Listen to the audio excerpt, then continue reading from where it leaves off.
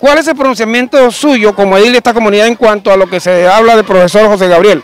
Bueno, con los buenos días para JM. Más que pronunciarme como edil, hoy me pronuncio como madre de familia de la institución, a la cual le hago un llamado a la Secretaría de Educación en cabeza del doctor Iván Bolaño, que se ponga la mano en el corazón como padre de familia y que tome cartas en el asunto, porque realmente no es justo que nuestros niños estén presentando hoy problemas psicológicos a raíz de todo este proceso que se ha venido enfrentando en la institución. Además de que es una institución que no se encuentra en condiciones dignas para que nuestros hijos entren a las aulas de clase que están totalmente destruidas en, en su mayoría.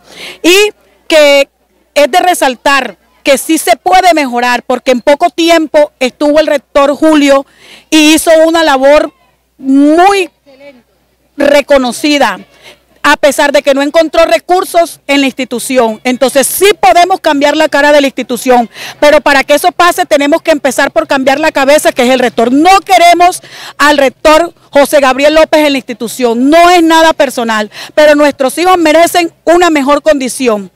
No queremos el pronunciamiento de varias voces, voces del edil, voces del padre de familia, voces de los alumnos, voces de los representantes que dicen no más.